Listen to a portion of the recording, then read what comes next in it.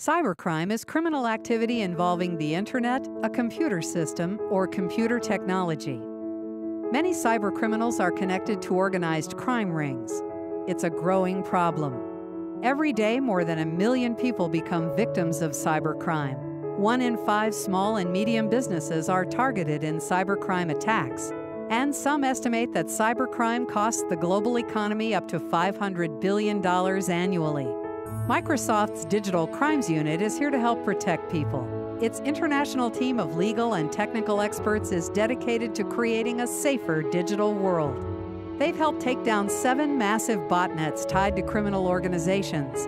They've disrupted an international crime ring's online piracy operation, and they remove an average of 2.5 million files of illegal software each month. Microsoft's Digital Crimes Unit leading the fight against cybercrime.